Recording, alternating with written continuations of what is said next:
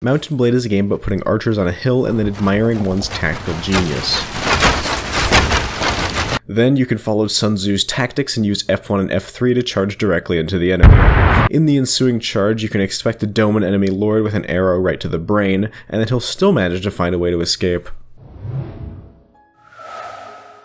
Warband was an expansion to the original 2008 Mount and Blade, and it's a type of game that is remarkably rare. Officially doesn't have a genre name outside of action role-playing game, but that's one of the least descriptive things ever written. This commenter called them RPG 4Xs, and you know what? I like that. The games in this genre are Mount and Blade and Starsector. And honestly, probably Stalker Anomaly too. The core tenets of this genre are how, while you start from nothing, through trade, contracts, recruitment, war profiteering, and bounty hunting, you can grow to become the leader of an empire. Bannerlord was Warband's sequel, and it was announced a full eight years before its early access release in 2020. For some context as to how long ago that was, 2012, the year of the announcement, was the same year Minecraft Classic Fallen Kingdom was released, and it took until COVID hit to be fully released to the public. Upon its release to the public, it was received with a great meh. Despite the ridiculously long development time, Bannerlord's first release was absolutely plagued with a locust swarm of bugs. CJI was the most infamous, but my personal favorite was half of the perks doing literally nothing at release. That being said, I'm not really interested in why Bannerlord turned out the way it is, but instead focus on how it's worse than the other versions of the same formula, specifically Warband and its modding scene. The differences in games starts early as character creation. In Warband, you get this kind of ugly over-choice overload, whereas in Bannerlord, you get a very sleek and trimmed character creator. Bannerlord, true to name, has this really in-depth banner creation tool and then doesn't let you use it, which is really bizarre. You can still use a community-created mod to paste in really long text strings to use custom banners, but the default ones you can make are significantly less complex than any banner in Warband. The very first choice you make in Bannerlord's character customization, and the last one in Warband, is where your character is from. In Warband, wherever you choose is where you start the game, but in Bannerlord you always appear in this Empire training ground for some reason. It's also the only training ground in the game, and you can't train troops in it unlike Warband for no well-explained reason. After that, the standard Mount and Blade gameplay remains intact, and relative to native Warband, I would say that the experience of recruitment, questing, combat, party management, and market interactions are all a major improvement. NPCs can be interacted with with barely any loading screen, combat feels a lot more fluid, and the animation work is quite stellar, and all of the market is on one screen rather than four sub-shops. But even with all these improvements, I still found myself significantly more compelled to a mod for Warband than Bannerlord.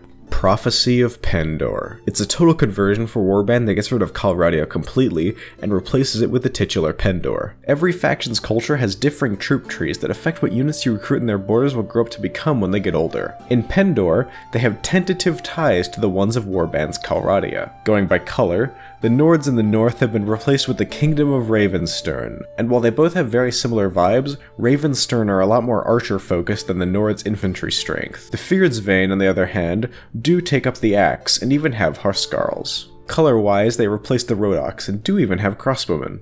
Right in the middle, the Kingdom of Sarleon quite obviously replaces native Swadia, even down to their cavalry strength. Then there's the Bacchus Empire down in the southeast, which is pretty unique and doesn't really have any ties to Warband's factions, but is obviously taking a lot from my beloved Romans. That shouldn't be a surprise, I did change my name to this, after all. Then, down in the southern desert lies the D'Shar Principalities, who are a mix of Warband's Khergit Sultanate and Saranid Khanate. There is one more kind of major faction in Pendor though, the Noldor. They don't take and hold territory like any other faction, though it would be awesome if they did, but they hide in secret in the mountains as the most dangerous faction in the entire world. They're part of a set of minor factions which aren't really proper factions but rather roaming armies. The ones who are always hostile, and thus the only ones you care about, are the Heretics, the Snake Cult, and the Jatu. The other reason you care about these three is that you'll be farming them pretty extensively later on.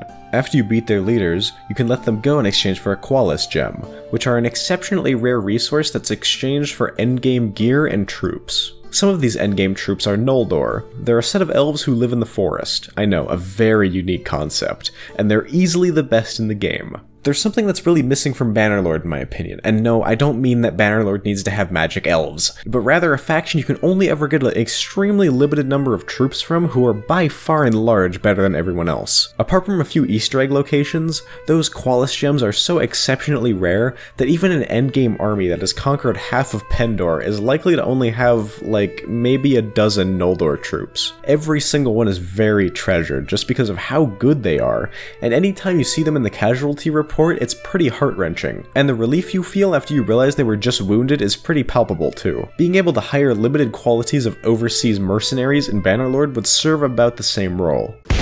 Exceptionally rare resources like Qualis gems are rare to see in games like these, and they should really be around more. Having an endgame time sink is really good and sadly missing from Bannerlord. I don't think it's an unreasonable ask either.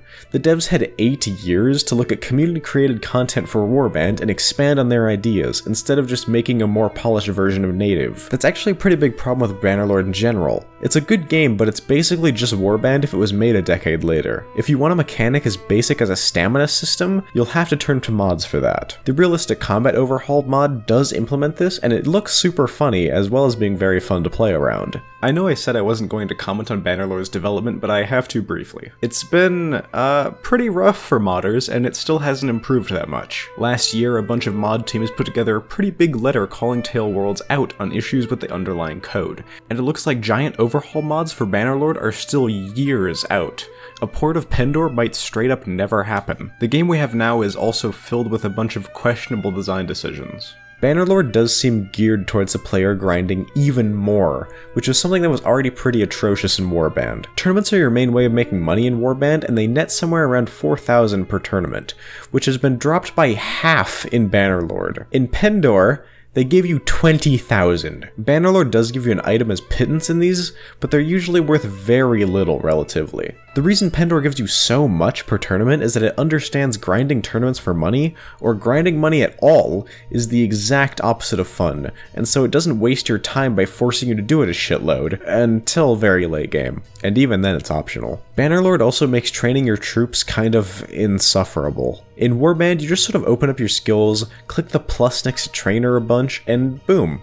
Your troops will gradually gain XP every day, and you're good. If you really need to raise units in a hurry, you can go to one of the half dozen training fields to get that done pretty fast. As previously mentioned, those don't exist in Bannerlord. Neither does the trainer skill. There are a few perks which passively give your troops XP, but they're nowhere near the level that the old trainer skill did, and it just contributes to making the game feel more like a grind fest. There's some stuff that I think was wholly needlessly changed just to be different. Warband's combat log is exceedingly simple. If you see blue, it means enemies are dying. If you see orange, it means one of your troops will be knocked out for a bit.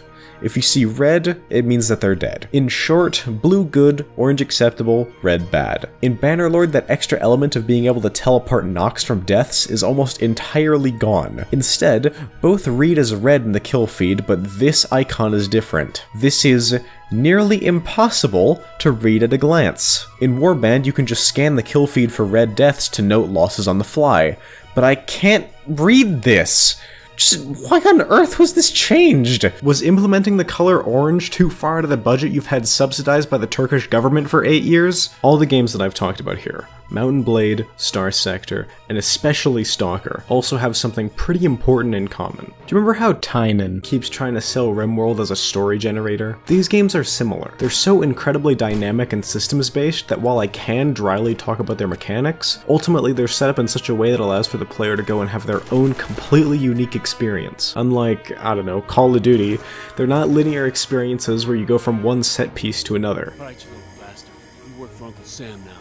These games are certainly far more than the sum of their parts. They're built to foster the creation of individual stories that are unique to every player, giving them a really interesting water cooler appeal. To give you the perfect example of what I'm talking about, I could tell you about how Stalker is kind of dry with dated visuals and half thrown together mechanics built on a shoestring budget, or I could recount to you the tale of Master Sergeant Kuntsev, who single-handedly held off a Monolith expeditionary force headed straight for Freedom's HQ, until both they and their PC exploded. Perhaps another time. For now, please, let me leave you with this clip.